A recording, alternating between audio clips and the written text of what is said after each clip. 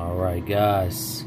So what we have here today, we got some chicken thighs marinated in some jerk marinade with secret sauce.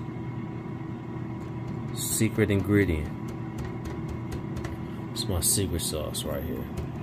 I'm gonna hit it with some of this Cajun, some of this hot homemade seasoning I made, and this is just regular garlic and herbs seasoning that I made as well. Gonna hit it with that. After I drain it on the wire rack, we're gonna throw it in this air fryer that's warming up right now. Stay tuned.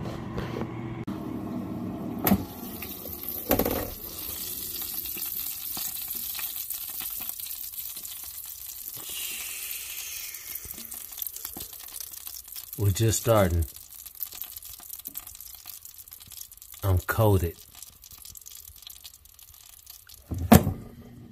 Let's go.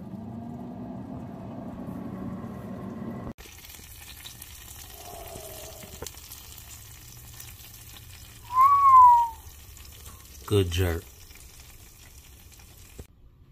Come on, fellas.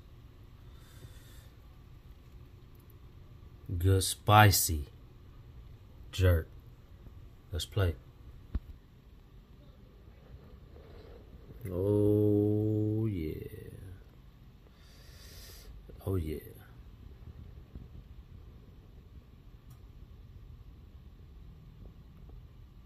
Done eat.